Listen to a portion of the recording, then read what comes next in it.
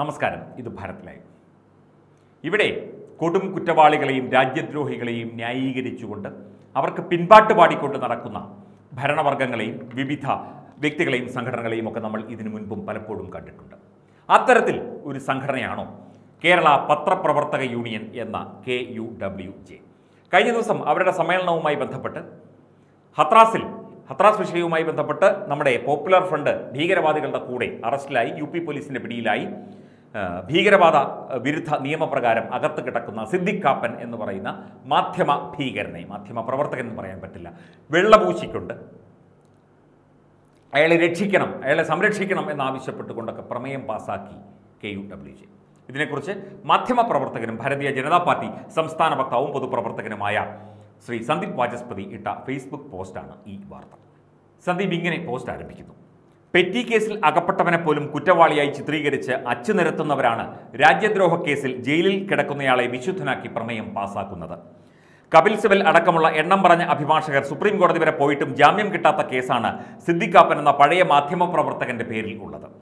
കേരളത്തിലെ നൂറ്റി നാൽപ്പത് എം എൽ എമാരും ഇരുപത്തിയൊൻപത് എം പിമാരും നടത്തിയ രാഷ്ട്രീയ സമ്മർദ്ദത്തിനും പോലീസ് ഹാജരാക്കിയ തെളിവുകളെ മറികടക്കാനായില്ല. അത്തരം ഒരാൾക്ക് വേണ്ടിയാണ് പര പണപ്പിരിവ് നടത്തിയതും ഇനിയും പിന്തുണയ്ക്കുമെന്നും നിഷ്പക്ഷ സംഘടനയായ കെ ഡബ്ല്യു ജെ പ്രഖ്യാപിക്കുന്നത്. നല്ലത് തന്നെ. സഹപ്രവർത്തകർക്കായി ഏതറ്റം വരെയും പോകുമെന്ന പ്രഖ്യാപനം ഉശിരുള്ള സംഘടനയ്ക്ക് ഭൂഷണമാണ് കരുത്താണ്. പക്ഷേ പത്രപ്രവർത്തക യൂണിയന് ദൂരക്കാഴ്ച മാത്രമേ ഉള്ളൂ എന്നതാണ് ദുര്യോഗം. യൂണിയൻ ആസ്ഥാനത്ത് നിന്ന് അര കിലോമീറ്റർ മാത്രം അകലെ ജോലി ചെയ്യുന്ന വിനു വി ജോൺ എന്ന മാധ്യമപ്രവർത്തകന് യൂണിയന്റെ സൂക്ഷ്മദൃഷ്ടിയിൽപ്പെടാനുള്ള യോഗ്യത ഇല്ലാതെ പോയതിന്റെ കാരണം നേതാക്കൾ ഒന്ന് വ്യക്തമാക്കാം വ്യക്തമാക്കാമോ? വിനു വിജയനെ കൊല്ലുമെന്ന് പറഞ്ഞ് ഇവിടുത്തെ സി പി എം നേതാക്കളും വലിയ വലിയ നേതാക്കളുമൊക്കെ ഏഷ്യാനെറ്റ് ന്യൂസിന്റെ ഓഫീസ് വളഞ്ഞത് നമുക്ക് ഓർമ്മയുണ്ട്. ഞങ്ങൾ ആ വാർത്ത റിപ്പോർട്ട് ചെയ്തിരുന്നു. അത് ചോദ്യം ചെയ്യാൻ ആ സംഘടനയിൽ ആരെങ്കിലും ഉണ്ടാകുമോ? നിങ്ങൾ വ്യക്തമാക്കിയില്ലെങ്കിലും സാധാരണക്കാരായ ഞങ്ങൾക്കെല്ലാം കാരണം മനസ്സിലാകും. ചാനൽ ചർച്ചയിൽ നടത്തിയ നിർദോഷകരമായ പരാമർശ പരാമർശത്തിന്റെ പേരിൽ വിനുവിനെ ഭൂമുഖത്തു നിന്ന് തുടച്ചു നീക്കുമെന്ന ആഹ്വാനവും വിനുവിന്റെ വീടിന് നേരെ നടത്തിയ അതിക്രമവും ഒക്കെ നിങ്ങൾ കാണാതെ പോയത് പോയതിന്റെ പേരാണ് യജമാന സ്നേഹം. മറ്റൊരു തരത്തിൽ പറഞ്ഞാൽ അടിമത്തം. യജമാനെ ദ്രോഹിക്കരുത് എന്നത് തന്നെയാണ് യഥാർത്ഥ അടിമയുടെ ധർമ്മം. ആ അർത്ഥത്തിൽ നിങ്ങൾ വിജയിച്ചവരാണ്. വധഭീഷണി മുഴക്കിയവർക്കെതിരെ വിനു നൽകിയ പരാതിയിൽ നടപടി ഉണ്ടായില്ലെങ്കിലും വിനുവിനെതിരെ കേസെടുക്കാൻ അഭിപ്രായ സ്വാതന്ത്ര്യത്തിന്റെ അപ്പോസ്തലന്മാരായ കേരള ഭരണകൂടം തയ്യാറായി എന്നത് നാം നന്ദിയോടെ ഓർമ്മിക്കണം എന്ന ഒരു വരി കൂടി പ്രവർത്തന റിപ്പോർട്ടിൽ ഉണ്ടായിരുന്നുവെങ്കിൽ സമ്പൂർണമായേനെ ജനം ടി വിയിലെ അനിൽ നമ്പ്യാർ ക്രൈം നന്ദകുമാർ എന്നിവർ ജീവിക്കാൻ പോലും അർഹതയില്ലാത്തവരായതിനാൽ അവരെ കാണാതെ പോയതും സ്വാഭാവികമാണല്ലോ. അതിനാൽ അവർക്കെതിരെ അതിക്രമമൊന്നും യൂണിയൻ ഗൗനിക്കുകയില്ല കേരളം സമത്വസുന്ദരമാണെന്ന പ്രതീതിക്ക് കോട്ടം തട്ടുന്നതൊന്നും ചെയ്യാനുള്ള സ്വാതന്ത്ര്യം യജമാനൻ അനുവദിച്ചു തരാത്തടത്തോളം കാലം തരാത്തടത്തോളം നിങ്ങൾ കുറ്റപ്പെടുത്തലിന് അർഹരല്ല.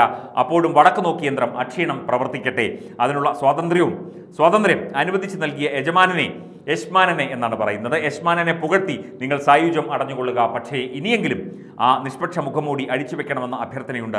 വിശ്വസ്ത വിനീത വിധേയന്മാർക്കായി കഴിയുന്നവർക്ക് വിധേയന്മാരായി കഴിയുന്നവർക്ക് ഞെരങ്ങാനുള്ള അവകാശമേ ഉള്ളൂ എന്ന് തിരിച്ചറിയുക. അതിനാൽ സ്വതന്ത്ര യൂണിയൻ എന്ന ആനയം തെളിച്ചുകൊണ്ട് ഇനിയും ഇതുവഴി വരരുത്. പ്ലീസ് ഒരു സി പി എം പോഷക സംഘടന അതിൽ കൂടുതൽ ഒരു ഡെക്കറേഷനും ഈ ഒരു സംഘടന ഇപ്പോൾ അർഹിക്കുന്നില്ല എന്ന് പറഞ്ഞുകൊണ്ട് സിദ്ദിഖാപ്പൻ തടങ്കലിൽ ആ ഒരു പ്രസ്താവനയും മറ്റു കാര്യങ്ങളും ഒക്കെ ചൂണ്ടിക്കാട്ടിക്കൊണ്ടാണ് ശ്രീ സന്ദീപ് വാചസ്പതി ഈ പോസ്റ്റ് ഇട്ടിരിക്കുന്നത് ഇവിടെ യജമാനൻ പറയുന്നത് അനുസരിക്കുന്ന വാലാട്ടിപ്പട്ടികളായ അല്ലെങ്കിൽ വിടുവേല ചെയ്യുന്ന ആളും തരവും നോക്കി പിന്തുണ കൊടുക്കുകയും തെറി പറയുകയും ചെയ്യുന്ന ഒരു നെറികെട്ട സംഘടനയായി കേരള പത്രപ്രവർത്തക യൂണിയൻ നിഷ്പക്ഷ സംഘടനയുടെ ലേബലിൽ ഇവിടെ കിടന്ന് ഉരുളുകയാണ് തോന്നിവാസം കാണിക്കുകയാണ് എന്നത് ഇതിൽ നിന്ന് വ്യക്തം. ഇതിൽ കൂടുതലൊന്നും പറയാനില്ല.